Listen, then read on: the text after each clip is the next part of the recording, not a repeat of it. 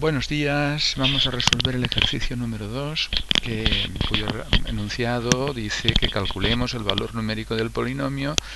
x elevado a 3 más x elevado a 2 menos 2x más 1. Es un polinomio de tercer grado y nos pide que calculemos ese valor numérico para eh, x igual a menos 2. Es decir, cuando la variable, la indeterminada del polinomio o variable del polinomio x es igual a menos 2. Ya sabemos, ya lo hemos hecho muchas veces en clase, eh, lo que tenemos que hacer es sustituir la x por el valor numérico de la variable, que es menos 2, y hacer el cálculo de la operación combinada que se nos,